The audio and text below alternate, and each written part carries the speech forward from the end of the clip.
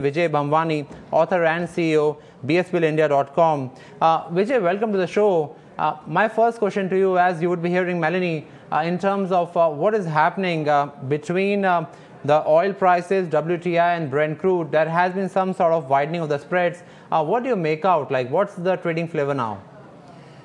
Hi, thank you for having me on your show.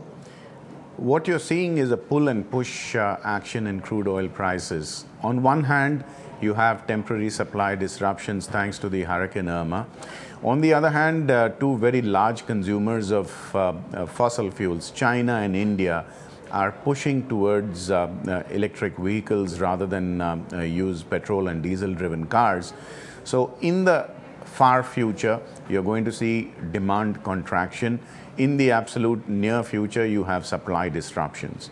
The other major factor that's going to impact crude prices for the coming two quarters minimum is the Saudi Aramco IPO, which is around the corner.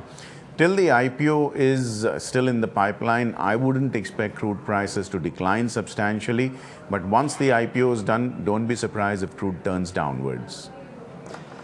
Right, Vijay. Then again, uh, if you're looking in terms of the Hurricane Irma, now the, it was a Category 4 storm on Sunday. Some sort of damages they actually have been reported.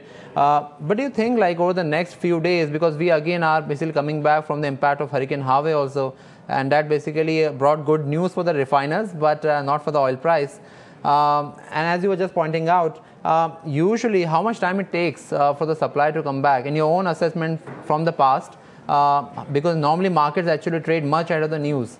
So, what do you think? Like, can oil price again be uh, like uh, trading in a very narrow range?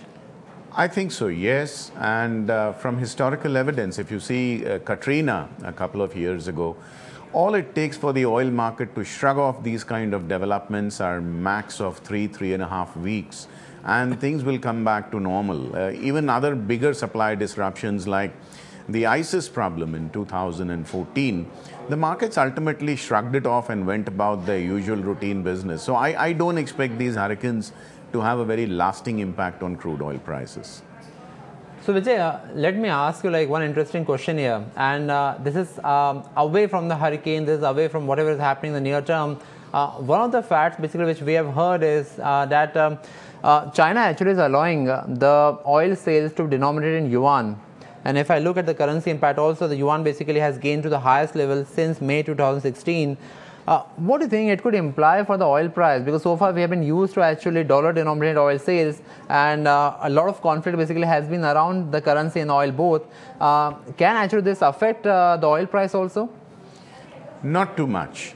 Although uh, oil has been trading in um, a euro also in select areas other than the US dollar. So, this would not really be an earth shaking event uh, where crude oil pricing is concerned.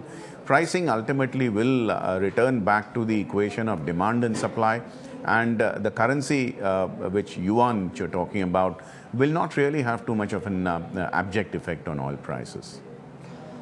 Right, and uh, do you believe uh, that uh, as we're talking just about uh, the yuan also, uh, do you believe that in terms of uh, the move between the dollar and oil, and I'm just trying to guess, but trying to actually find something more interesting for our viewers also, if there is any sort of a factor which is outside of the current demand supply, is there any sort of risk right now to the dollar, which because normally dollar and oil they also move in tandem.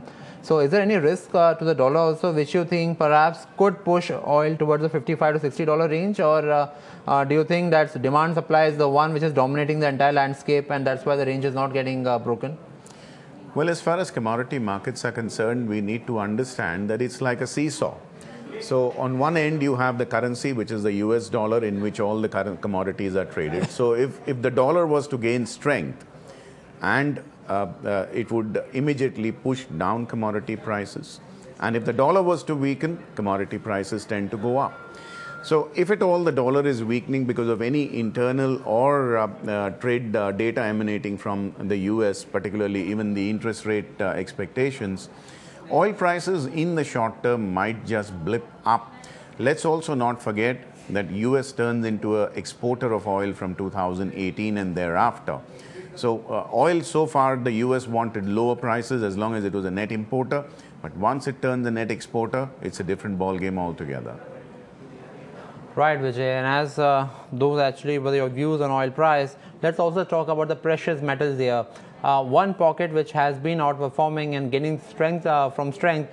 A lot of views actually uh, they have been that perhaps this could be the top. Now actually gold could start correcting back towards 1200 1100 dollars.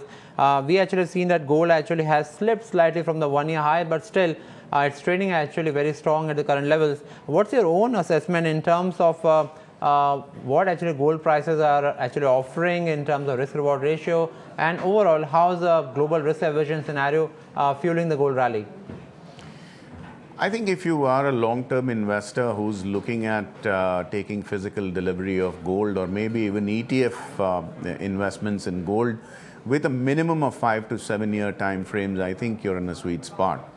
Because uh, gold prices, looking at uh, the way the uh, uh, global economic scenario is, are frankly under discounted. As also with silver, thanks to the solar energy and photovoltaic cell consumption uh, which would trigger off uh, another demand uh, spike from the photovoltaic segment. So if you're, if you're looking at very long-term investments, I think it's not a bad time to buy. But if you're trying to time the market, which I don't think is possible, in the absolute near term, you might just see as crude oil prices go down, inflationary fears would go down, and gold might just settle down a bit before uh, finding its own feet again. Right. So, Vijay, again, if I talk about in terms of the base metals also, uh, what's your own assessment about uh, the current strength of the rally? Uh, copper, zinc, aluminum, they all actually have rallied, but we have seen some sort of profit booking happening in the Friday's trade. Uh, and if you combine today's cues, uh, what's your own assessment? Uh, was this a, a, sort of a mild profit booking and we can again see base, base metals continue their up move or you think now it's time to be cautious? Well, by the end of 2014, I'd been advocating that uh, uh, the hard assets market, particularly the industrial metals, were turning pro cyclical. Now, after the US elections, in which uh, President uh, Trump uh, was elected surprisingly in the US, we started witnessing what is now popularly known as a reflation rally. Now, if you see the highs of uh, November, in November or December, depending on which commodity you're looking at, most of the commodity prices, I'm talking of base metals here, have reacted downwards after hitting near about those November, December 2016 highs. Barring copper, which is trading above those levels, and copper is known to be the tin roof of the economy or the barometer of the economy, that is the only sweet spot in the industrial metals market.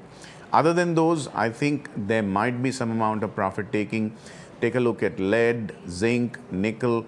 They have reacted down very sharply on Friday, and I wouldn't be surprised if there's a little bit more profit taking coming in uh, even in the coming future.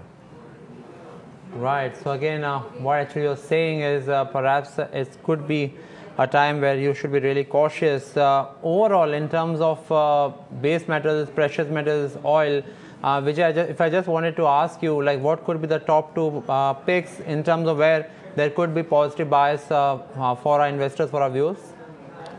Where optimism is concerned, I still see optimism on my trading screens on copper.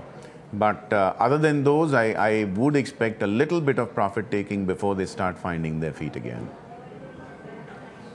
Right. Uh, Vijay, again, uh, lastly, uh, what you're saying is uh, if I want to ask you in terms of uh, just gold, silver again, between a scenario like what could actually push the gold prices into a severe profit booking mode?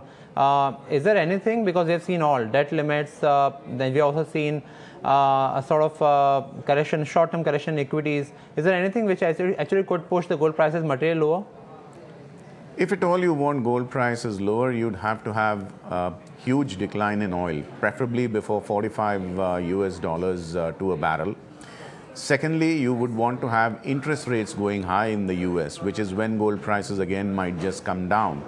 Thirdly, the dollar would have to strengthen substantially for gold prices to come off again. So watch these three factors with uh, your ears to the ground and you have clues on to where gold is going in the near future.